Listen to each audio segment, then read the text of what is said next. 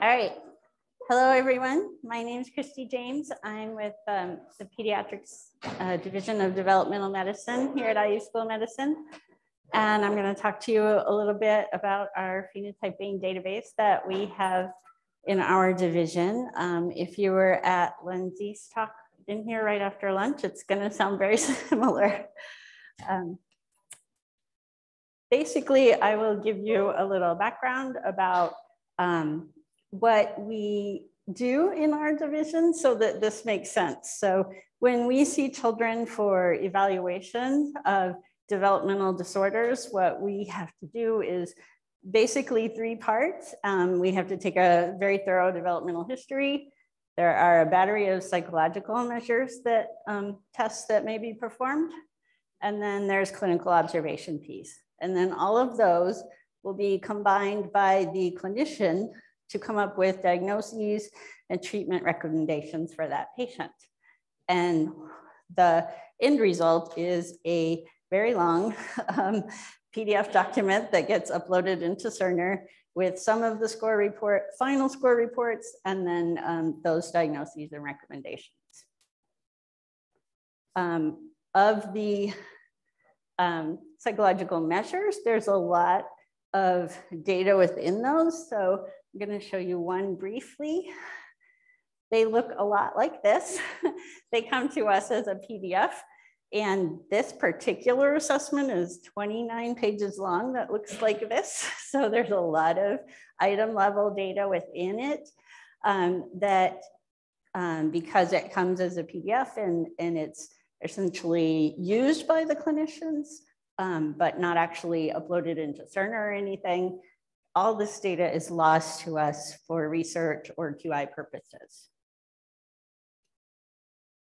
So our plan was let's add a data repository alongside of Cerner where we can capture some of this data that is lost um, and use it for research along with the EMR data. And then it was really important to us that it fit into our clinical flow within the division. Um, we didn't want to disrupt that or add more burden to our clinicians and our scheduling staff. Um, so we tried to make some benefits to them in that um, that developmental history piece you see at the top there used to just be like a paper form that was mailed out to families. Um, and then they, families would come with like school reports or IEPs, and um, those were all things that had to be managed. So those are all now um, in REDCap and electronic. So they as soon as a patient is scheduled, like those will go out, families will fill out the questionnaire, it will come in electronically, be uploaded into Cerner. Um, so it's available for the clinicians um, in an expected place. Um, it's still PDF form, but it, um, the intake form is discrete data now. So we get a lot of rich history information a little more detail. So um, we have basically um, a scheduling form, which has our, it drives most of the things that happen within our database. Um, the first thing that will happen is that once the patient is scheduled for an appointment, um, the, the database will send out um, a consent and the e-consent um, comes in multiple languages for us. So we're using the multi-language capabilities. And we, um, after they've completed the consent, it automatically um, starts them on the developmental history form, which is um, a very long form, but uh, captures a lot of data. And that goes in straight into REDCap. Um, and then the we have that's all like before the visit ever happens so that the data that is there for the clinician to review before their appointment. And then after the visit, then there's various surveys that may or may not go out. Um, typically, there's one that goes to the provider that saw the child, and sometimes uh, the, the caregiver for the child. Um, the provider will upload files with the um, data for us into REDCap in, in a file upload and then that is later entered as discrete data into into REDCap. Um, a quick, I wanted to make sure we talked a little more about consent just because we have two pieces to our consent that are important. One is the, can we use your data for research? All the data, just to clarify, will go into REDCap because it's clinical use as usual as far as IU health is concerned. So it will go in there so our clinicians can use it, but we can't use it for research unless they gave us permission. So that's like a discrete field in our, in our consent um, that we have to filter on later. And then we also added, can we contact you for future research? So now we've built a lovely research registry for this pretty unique population that we have already found people value having access to. So to describe our data set, um, basically that we, we used a longitudinal study, but the events within it, we have our intake event where that scheduling form that I talked about is, and the consent and the intake form all live. But then each of the events moving forward is actually a particular appointment type. And we have multiple types within our division because we have multiple types of providers. We're an interdisciplinary group.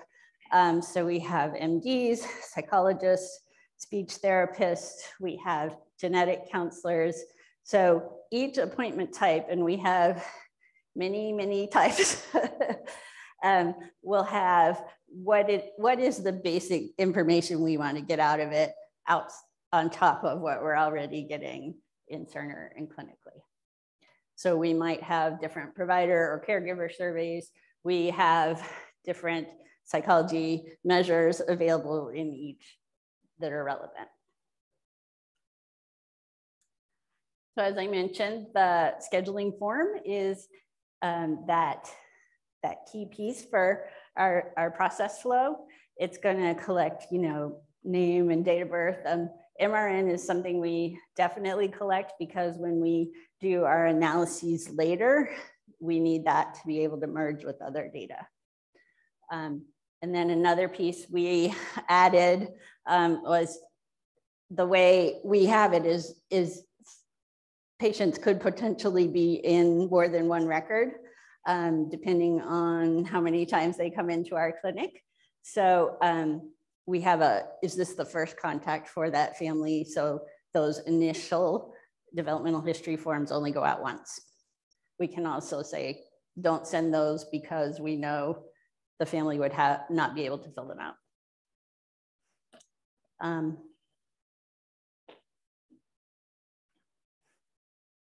this is more detailed than you need, but what basically all of our surveys are automated.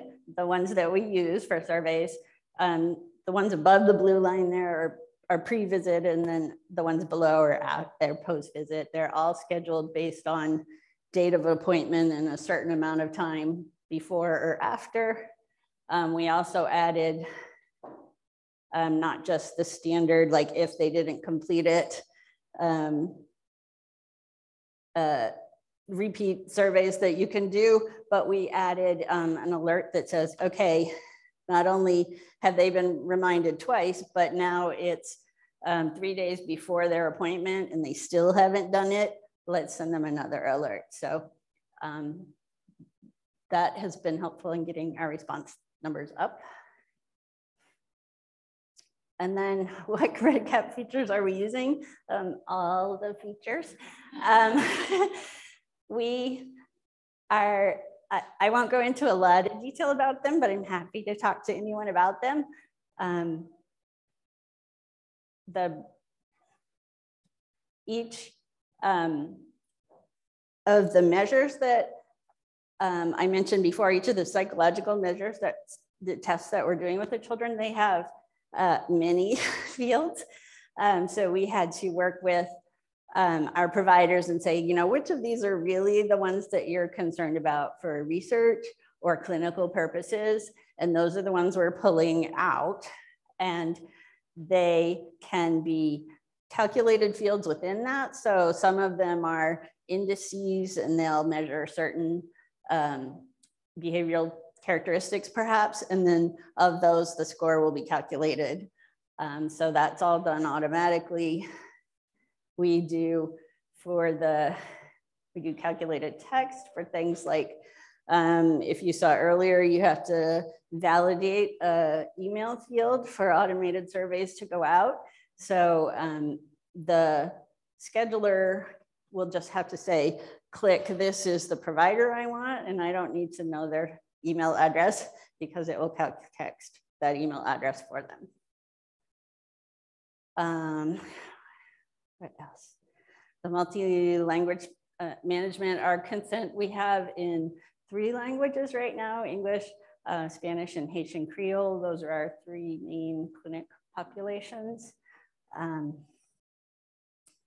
the files that are uploaded, the ones that have to be manually entered by our data interns, those actually inline display in the form for the, them. So all they have to do is, is um, scroll through it and enter the data.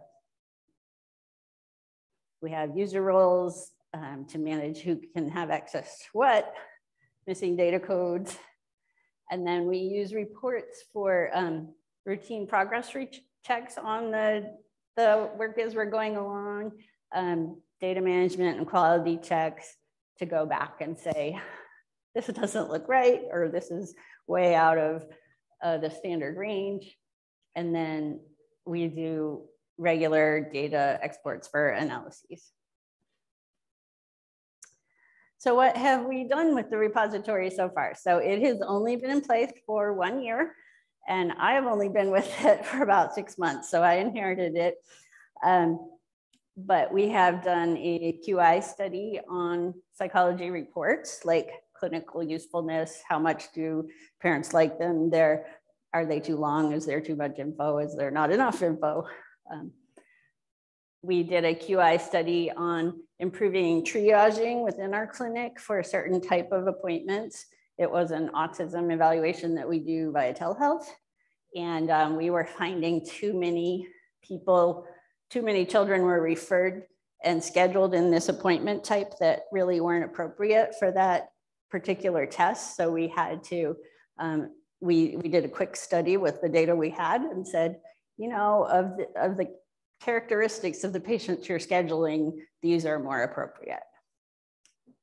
Um, we did a study on the BASC-3, which is a particular behavioral measure that our psychologists use. And um, it was a student project that was a reaction to a publication that came out by the people who created that measure, who said, not only is it wonderful, but it solves all the world's problems. And so we tried to say, well, this is what we see in our clinic. And, and we're just kind of adding to that body of knowledge of maybe not all the things. Um, we are currently in the process um, of adding genetics to our data set now. Um, and the events and forms, they have several data sources they're dealing with now. And I'm sure if you've worked on other projects, you know how this goes where there's this person has an Excel sheet and this person has a REDCap repository and um, this person has a stack of papers in a special folder. So we are working on getting all that into the same place so that when we run our queries, we have all that data available to us. And then it's been really helpful for grant proposals um, to be able to say, this is what our population looks like. This is what we would like to do. We have gotten we got two internal grants this year based on what we wanted to do with the data sets. And then um, we are currently in a, on Monday, submitting an RFP for a really big uh, multi-site grant that we're very excited about that will be able to um, fund this project better and get more people and really uh, bring it up to higher level. So what are we going to do with it in the future? We are automate, automate, automate, right? That's my mantra. Like we should not have, we want as very little data entry as possible. We want it to come in. Um, so obviously more EMR scheduling um, integration. We have some now where we pull upcoming appointments for the next week. They're uploaded um, into our, our registry, but it's not, let's say, seamless. so it needs a little more attention than we'd like. Um, we do the psychology tests that we get, some of them only print out in a PDF form that we can read visually, but um, some of them are available digitally so we can get all that item level data. So that um, is an easy, like low hanging fruit where we could say, let's just take those fields, match them to our Red REDCap fields and upload them in. Um, and then some more better refined data management. There's always more we can do in that realm. Um, we want to expand the use of our multi-language features. We're only using it for consent right now. We'd love to get some more of the forms set up, uh, the surveys set up with that. Um, and then we are slowly adding more appointment types. So we started initially with just psychology testing because that was our bigger need and it was a nice narrow scope to, to start dealing with. Um, but now we're adding more and more types within our clinics um, to add the data. And then we're also adding um, iPads within the clinic so that if people don't you know, complete their forms ahead of time, they can do it while they're here, or some of the parental um, questionnaires like about behavior of their children, they could do while they're in the clinic. So those are our directions. And then just quickly, um, Dr. Reisinger is the psychologist who initially started this project and put a lot of effort into it. Um, she left us, but um, we are continuing with it. Um, Angela Paxton is our project coordinator and helped with some of the initial builds. Um, our interns are all doing wonderful data entry work. Patrick Forgy is a, a, trainee of ours who did some data entry and some research and is now moving into learning the world of data. Yay. And he's going to help with support. And then um, many thanks to Kat Bauer Martinez for the oodles of questions that we brought to her. So, any questions from anyone? I know I kind of rushed through a lot of that.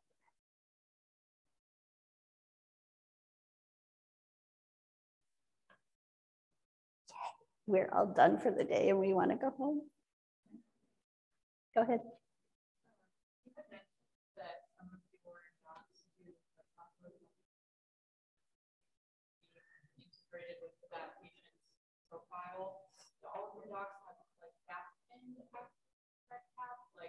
Users on that project, or is there a way for them to be adding that outside Um, so the question is, how do our docs get um, other documents into our REDCap data set.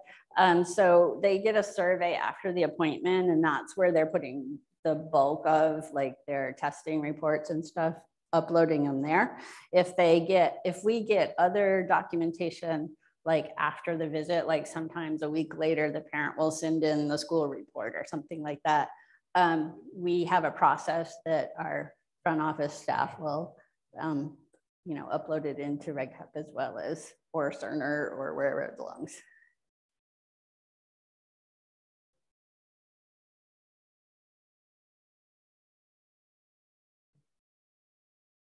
All right.